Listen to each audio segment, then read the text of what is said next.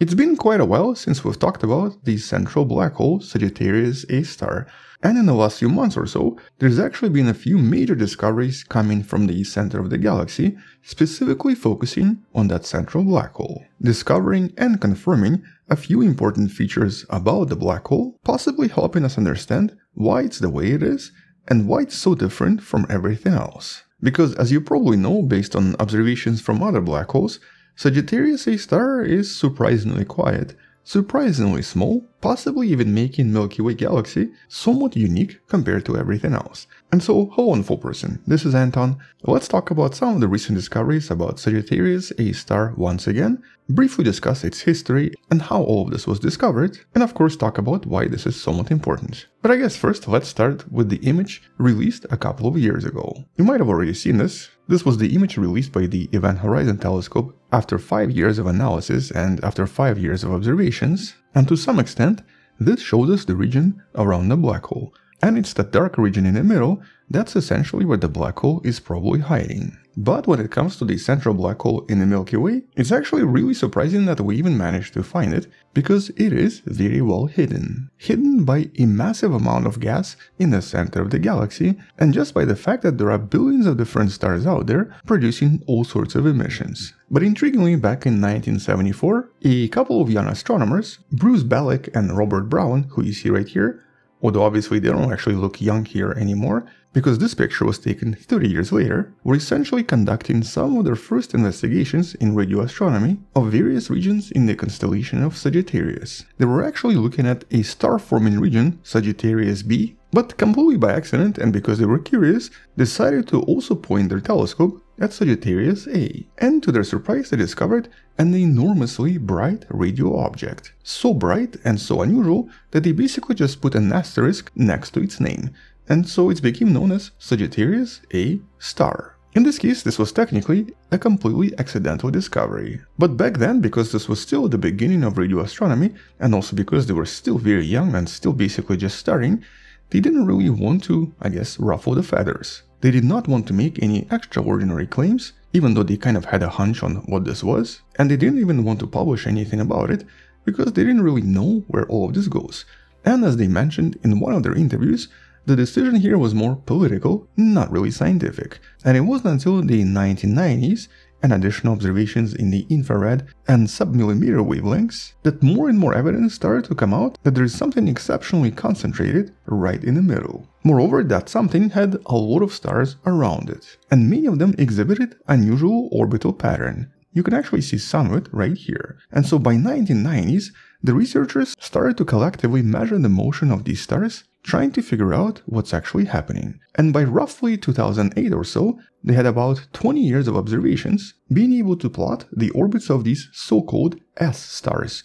You can learn more about these stars in some of the videos in the description. The most famous one, the one that you see in the middle, is S2.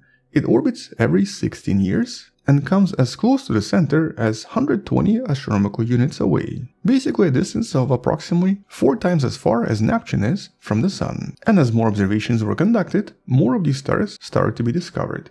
And some of them were actually extreme. One of them, S4714, once again a video in the description describes it more, comes within 12.6 astronomical units and moves at approximately 8% of the speed of light. And all of these observations meant only one thing, something very massive, something very compact, and invisible right in the center, which eventually resulted in several major papers with very strong claims that this is the central supermassive black hole, the claim and the studies that eventually resulted in a Nobel Prize in 2020. And so naturally, once we knew that this is a supermassive black hole, someone had to take a picture of it. I mean, obviously to confirm that it's there, but also to see what we can see. But for that, the scientists needed something a little bit bigger than any previous telescope. They actually needed a telescope possibly the size of planet Earth. And that idea was kicking around for quite a few years and eventually became known as the Event Horizon Telescope. A large array of telescopes, consisting of the telescopes you see right here, all collecting data from the same point at the same time, which is then collected and analyzed in order to reconstruct a single image, which is pretty much exactly how this was created, and later on resulted in the image of Sagittarius A star as well. Although here obviously this was just the image of a lot of radio emissions coming from around the black hole and not the black hole itself, This was not in optical light, this was not in infrared, these were radio observations, just showing us that there is a lot of radioactivity in the central region around here, but obviously not telling us much more. But since that image, the researchers were actually kind of curious to find out what else we can see here by using other frequencies. For example, by using polarized light and by also using X-ray emissions coming from this region. And so here the researchers used the now retired SOFIA telescope, which was an airplane-based telescope, extremely good at observing polarized light, and also NASA's Chandra X-ray Observatory, which I think NASA is going to be retiring soon as well. Yeah, that's not actually good for scientific observations, but we'll talk more about this in some of the future videos. Subscribe!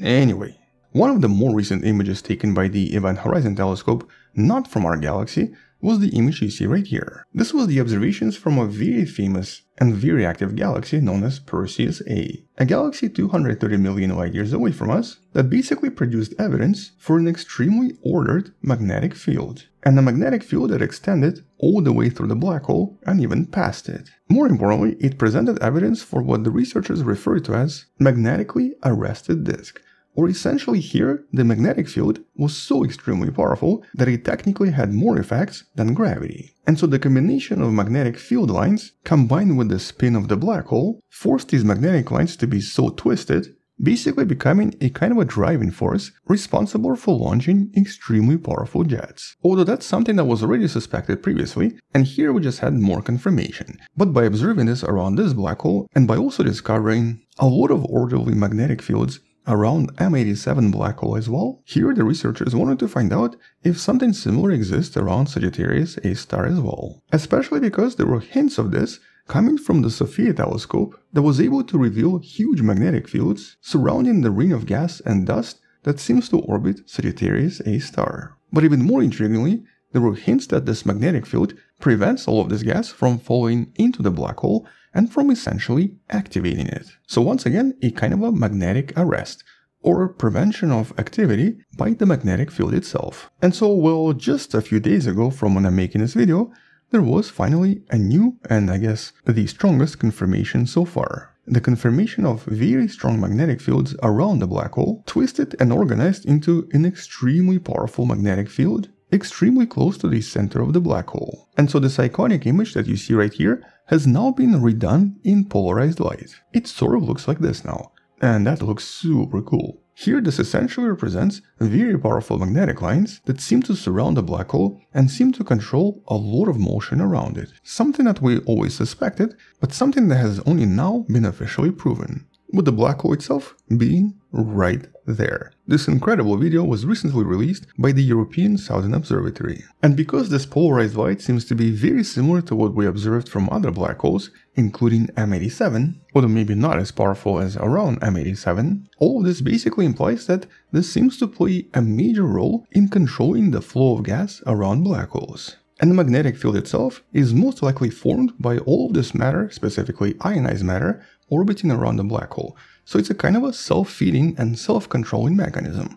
Although here, some of the previous observations imply that not all of the magnetic field is produced this way. At least some of this field is produced by something entirely different.